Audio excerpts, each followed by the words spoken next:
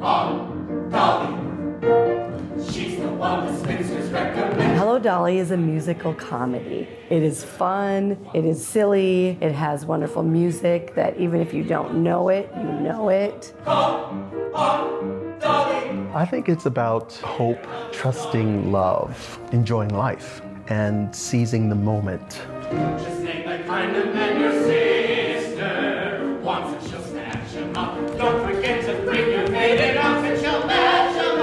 Anything done at Latté Da has a different twist and a taste about it. I push my hand in there.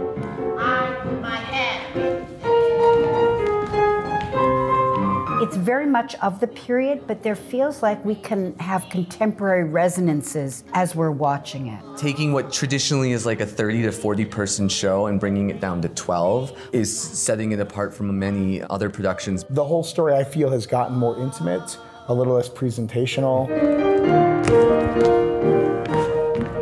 We also really looked at how do we do this show that takes place in the late 1890s with a very intentionally racially diverse cast. Kelli has really envisioned and set this piece in a community that is black and brown. And so by giving that agency to the characters who own things gives it a, a different turn while still keeping true to the story itself. Dolly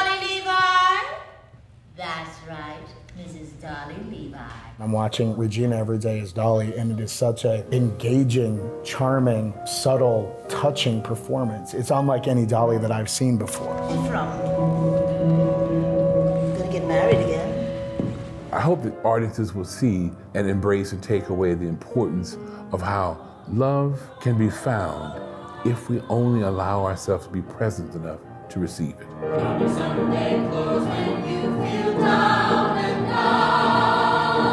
people know what they're getting when they come to Latté Da, and it's really good.